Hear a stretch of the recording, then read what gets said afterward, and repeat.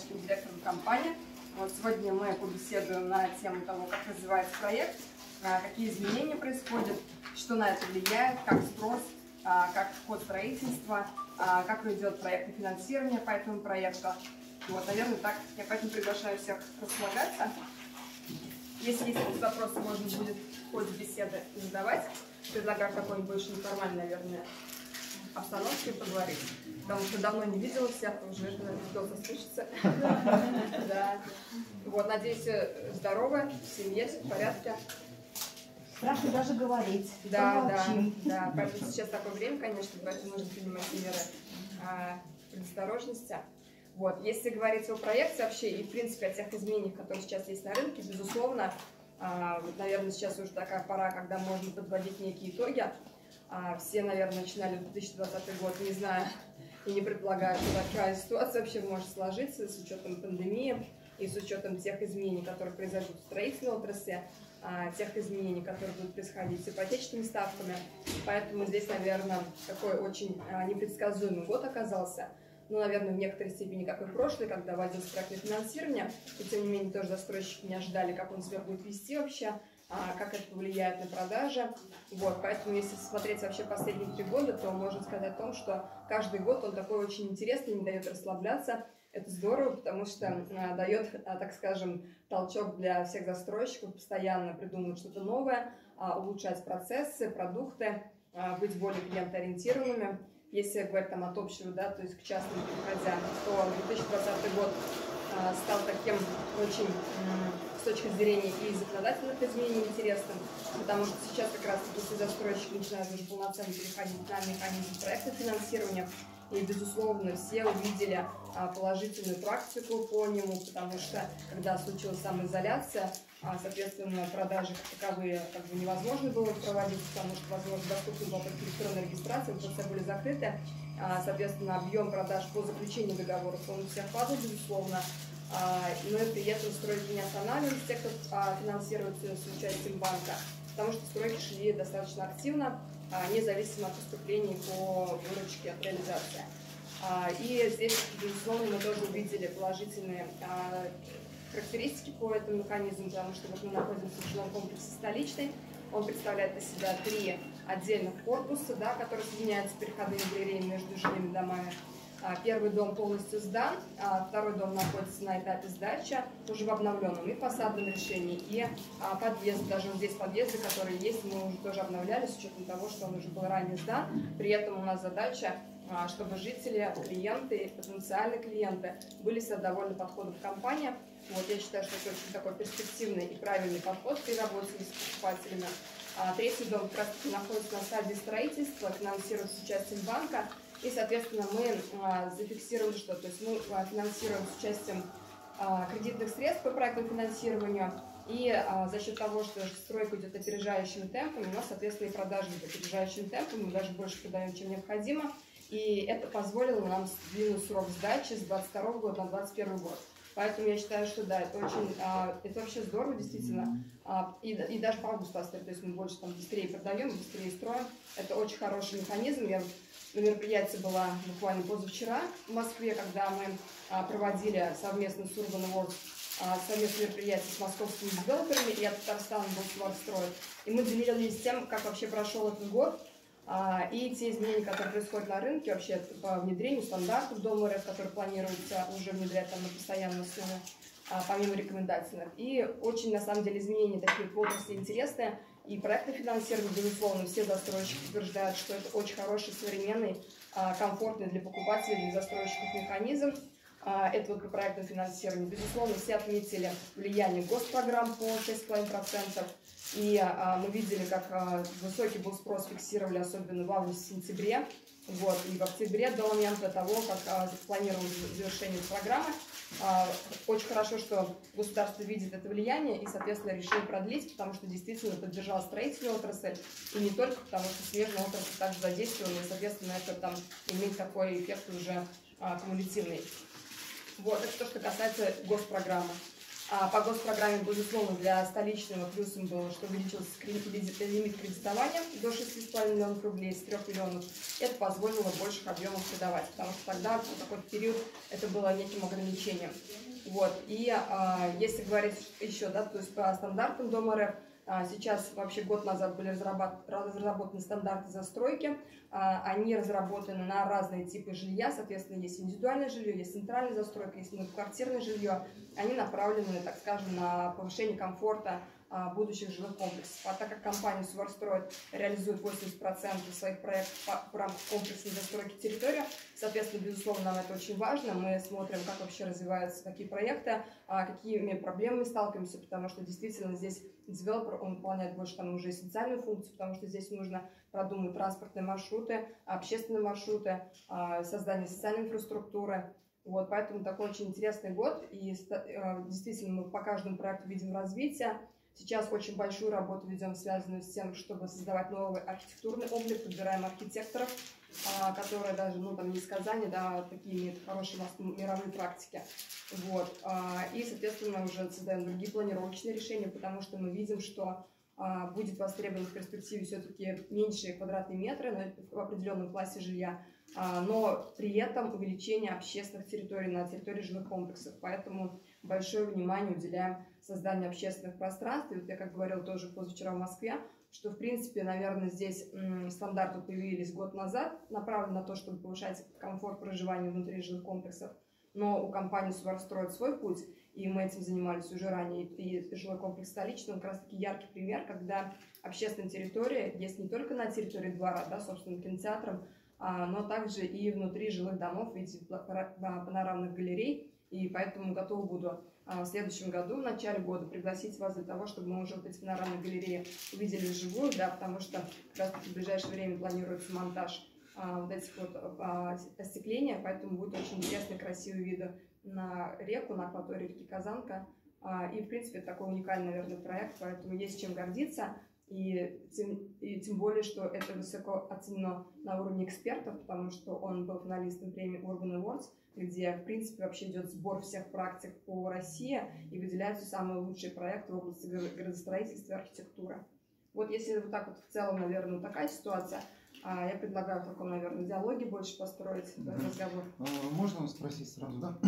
То есть, ну, мы видим по проекту планировки здесь у нас э, предусмотрен детский сад на 190 мест. Да, все верно. Он уже как? Э... Он находится на этапе проектирования, он включен в программу демографии, поэтому угу. это уже точно, э, этот детский сад, он будет на территории двора. Угу. И вот если говорить про этот формат и проект, а, в чем его безусловным плюсом а, является, в отличие от всех других проектов, которые здесь представлены и в этом районе, то, что у него внутри двора а, создается такая полноценная социальная инфраструктура, когда не нужно будет выходить за периметр жилого комплекса, и можно прям в шаговой доступности, даже ребенку, условно говоря, самому дойти до детского сада, вот, и до школы, которая планируется за строительство на муниципальном земельном участке. Угу. Здесь э, школа пока дата непонятна, да, когда будет? Нет, это будет зависеть от бюджета, потому угу. что мы знаем, что пока на 2021 год у нас а последние вот объекты были включены в целом это по Российской Федерации. При этом вот как раз на мероприятии и с участием Банка а, Института развития Дома РФ мы, соответственно, тоже а, акцентировали свое внимание о необходимости а, создания социальной инфраструктуры, о наличии этих программ, потому что они действительно стимулируют спрос. Мы даже видим на примере проекта «Залесный». У нас как появился детский сад за 340 мест, очень большой детский сад для этой локации. Мы прям существенно увидели, что в два раза увеличился спрос. Угу. То есть действительно вот эта инфраструктура социальная, потому что мы строим для семей, им очень важно это наличие в шаговой доступности. Дома расположены по периметру, угу. а не плотная застройка, когда окна в окна да, строят угу. некоторые. Вот, поэтому здесь порядка 130 тысяч квадратных метров жилья планируется к возведению. Как раз таки мы ожидаем, что вот уже третья очередь будет в следующем году сдана, поэтому проект будет полностью завершен. Uh-huh. И, в принципе, такая очень была удачная локация. Действительно, никогда здесь никогда проблем со спросом не было, потому что и транспортный хаб удобный, то есть можно в любой район города уехать, близко к центру города, и мы знаем, что Новосоюзский район, он а, достопримечателен тем, что вся инфраструктура есть, как для детей, взрослых, а, это и кинотеатры, это и рестораны, это и аквапарки, все в наличии здесь достаточно близко. Локация очень действительно удачная, и он такой очень камерный, то есть внутри такой микроклимат создается, когда очень удобно для проживания. Это даже система сообщений между дворами очень удобная для жителей, потому что дворы а, без машин и сквозная система подъездов, когда нет необходимости обходить все дома. На оконные проемы, второй, третьей очередь, соответственно, больше инсоляции, освещения. А, когда больше солнечного света и настроения всегда у людей поднимается. Вот там красивые очень витражные окна, все в пол сделаны, вот поэтому очень интересный проект. Э, в последнее время просто ну, на рынке происходит, мы видим, что уровень продаж в жилом комплексе столичный, говорят, ну как говорят риэлторы, вырос заметно. С чем вы это связываете? Наверное, ну, повлиял, во-первых, высокий спрос, да, и, во-вторых, видимо, в Новосоветском районе мало сейчас предложений. Другого. Абсолютно, да, согласна с вами. Во-первых, повлияли и темпы строительства, угу. да, и а, повлияла, безусловно, сама концепция, а, и люди знают, что уже в дворе будет построен детский сад, ну, потому что таких проектов просто нет. И действительно, предложений на рынке очень мало, особенно в Новосоветском районе. Поэтому вот на сегодняшний день единственный такой жилой комплекс, в котором а, есть угу. выбор. А Здесь все полностью первые, вторые этажи коммерческие помещения. А, у нас во втором доме и в первом доме, безусловно, уже нет коммерческих помещений, потому что это объекты с высоким трафиком и с большим количеством проживающего населения. Вот. И осталось несколько помещений буквально на вторых этажах в третьем доме. Ну вот это вот то, что вы такие дворовые пространства спроектировали, все равно ощущение свободы сохраняется. И ориентировка-то, вот у нас же юг, да, солнце да, вот так вот. Да. То есть инсоляция у нас идет с этой стороны. Вообще очень удачное расположение Во двор как раз, во двор. И, то есть здесь нет плотной застройки, двор будет хорошо освещаться. Да, и в ту сторону, соответственно, тоже, то есть там а, по инженерии просто работы сейчас ведутся все, да, то есть мы как планируем, что мы полностью как раз-таки к концу года уже будем завершать вторую очередь, а третью очередь, соответственно, мы планируем выйти на фасадные работы а, весной, вот весна-лето будут как раз-таки вестись уже фасадные работы. Соответствует, если говорить про соответствие бизнес-классу, то это а, расположение в пяти минутах от центра mm-hmm. города, а, при этом, чтобы были обязательно системы закрытых дворов, безопасное видеонаблюдение а, и, соответственно, красивые видовые характеристики материала, керамические mm-hmm. блоки, вот, высокие потолки обязательно, это вот прям обязательно атрибуты а, сегмента бизнес-класса. И, соответственно, авторская архитектура, то есть не похожа на другие. Здесь, mm-hmm. безусловно, да, более трех миллиардов, соответственно, прокредитован проект, вот, лимит кредитования. А, и также с банком, соответственно, у нас на сегодняшний день достаточно большой пул проектов и на рассмотрении находится, и уже на стадии а, строительства. Это Августастра, а, вот в ближайшее время выходит 5 домов Южного парка, из которых два будут в чистовой отделке сдаваться, три mm-hmm. в предчистовой отделке. А станции спортивные, два дома, один в чистовой и в предчистовой. Мы буквально на днях сейчас открываем уже там бронирование, потому что действительно большой очень спрос а, на эти локации. И сам физиологический узел тоже очень масштабный проект. Вот, и вот, в принципе, если говорить про флагманы, это вот однозначно логический узел, где сконцентрировано три жилых комплекса. Столичный, а, соответственно, с от Казани. Залесной сети тоже очень высокий темп продаж, высокий спрос. А как раз таки мы занимаемся сейчас проектированием следующих очередей. А, во-первых, ну, с точки зрения локации удобно, что около леса, потому что все-таки сейчас, с учетом пандемии, а, люди больше хотят вот находиться, если у себя дома, то чтобы были возможности у них предоставлены, чтобы им было не скучно, было куда выйти, как время детям, взрослым. Uh-huh. Вот. И поэтому вот как раз таки за лесные сети мы тоже по-новому вообще перепроектируем сейчас. И фасадные решения новые будут, а, и сама, сама по себе позиционирование, и внутри наполнение, и планировки там будут абсолютно разные. То есть там будет три типа а, домов и с разными планировочными решениями, mm-hmm. тоже с разными видами отделки. А, да, что могу точно сказать, да, по планировкам. А, таких вот планировок на рынке на сегодняшний день нет, потому что там сразу предусмотрено отдельно гардероб в каждой квартире. А, там отдельно предусмотрено а, место для а, как хозяйственное помещение для того, чтобы постирочную можно было там прям сразу организовать сушилку и так mm-hmm. далее. То есть вот этот весь хозблок, он выведен отдельно, чтобы это не где-то в ванной был там или на балконе, да, потому что балкон тоже такая история, достаточно краткосрочная, когда ты пользуешься только в летний, там, весенний, осенний период, а зимой ну, даже вещи элементарно высушить невозможно. Вот, поэтому с точки зрения, так как он больше вопрос решает, наверное, хранение и сушки белья, поэтому под это отдельно вообще выделить помещение, даже в малогабаритных квартирах, в любом случае это все предусмотрено прям в каждой Мгм. квартире. Вот, и поэтому планировка вот действительно очень удачная, потому что там есть дома как только классические варианты, а когда есть раздельные комнаты, есть евроформаты, потому что это сейчас тоже набирает популярность. В Москве вообще, наверное, там порядка 50 по-моему, процентов Мгм. продается в евроформате, и что это тренд на то, чтобы объединять кухню с гостиной, а отдельно уже делать помещение для сна, и при этом даже однокомнатные квартиры мы тоже также выделяли, то есть мы делали небольшие, например, в пределах однокомнатных квартир, пусть даже пускай будет там 34 метра, но при этом у них кухня, гостиная, например, совмещена, есть отдельно выделенные спальни, поэтому мы пошли по этому пути. А, И вообще, в принципе, вот если говорить там про а, те тренды, которые будут в перспективе, то есть а, ну, все направление идет к чему? К тому, что будет уменьшаться, скорее всего, площадь, будет создание вот этих гибких пространств, и даже, вот, например, планировочное решение, мы сейчас делаем а, ряд проектов вообще без перегородок. Для чего это делается? Потому что за счет легких конструкций внутри квартиры можно по-новому обустроить пространство в зависимости от того, например, родился ребенок, можно, соответственно, перегородку менять местом, уже будет по-другому организовано пространство. И мы сейчас готовим 3D-визуализацию тоже, чтобы посмотреть, как можно одно пространство в нескольких сценариях Это в использовать. Залесном будет. Это и в Залесном будет, А, и вообще по другим нашим проектам, да. Мгм. И вот а, я смотрю участников конкурса, в том числе мировых, действительно тренд идет на это, и когда вот эти легкие конструкции перегородки, сейчас уже вот эти капитальные стены, например, не, ну, стараются не строить, да, по миру, а делают, например, такие легкие конструкции прозрачные и так далее, чтобы и видно было, потому что маму удобно, когда за детьми можно было смотреть. И с учетом того, что все-таки действительно мир очень быстро сейчас меняется, а, то я думаю, что за этим точно наверное, там тренд. Вот. И, ну, плюс про создание общественных пространств. То есть все будет направлено на то, чтобы внедрять лучшие практики Мгм. по тому, чтобы человеку было комфортно жить в среде. И я думаю, что все рано или поздно к этому перейдут. С точки зрения офисов, наверное, несмотря на то, что был такой режим самоизоляции и ну, определенный там фактор непредсказуемости ситуации на рынке, тем не менее мы планируем открывать в ближайшее время два офиса продаж. Мгм. Это в палитре будет располагаться, потому что Волжский простор большой действительно микрорайон. Мы временно снимали с продаж ряд домов. А, Соответственно, сейчас они будут выходить в обновленную концепцию, это ориентировочный январь.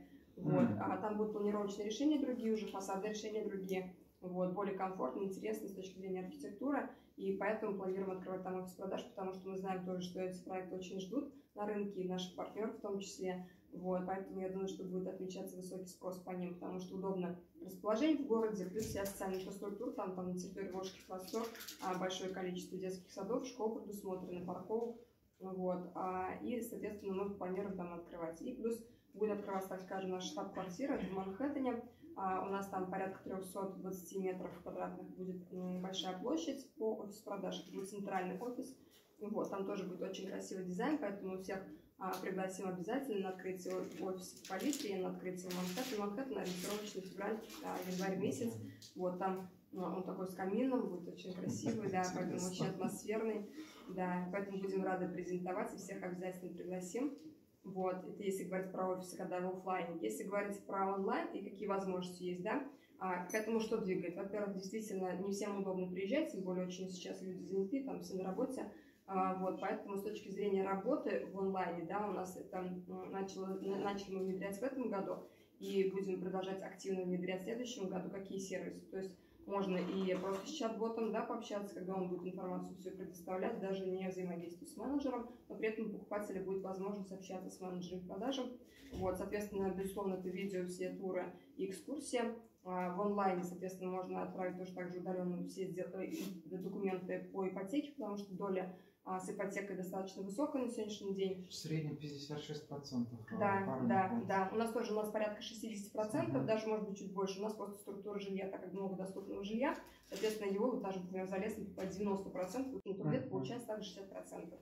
Вот. А, и плюс что, да, толкает, например, да, девелоперов для того, чтобы развивать удаленные сервисы, у нас за последний период выросла доля межрегиональных сделок до 30%. Мгм. Это большой показатель. Раньше он там начинался с 10, потом 20, потом 30. И действительно, Казань становится очень интересной точкой притяжения. Даже в Москве проводили исследования по Поволжскому округу. И говорят о том, что вообще народ стекает именно в Казань, в Уфу. А Казань действительно очень интересный и удобный с точки зрения комфорта проживания и занимает третье место там, по всем городам Российской Федерации. А, действительно, со стороны государства делается и местных властей а, очень большой задел и уже сделан на сегодняшний день а, большое количество вот этих общественных территорий, пространств. Действительно, город очень комфортный по архитектуре и по тому досугу, который можно да, обеспечить.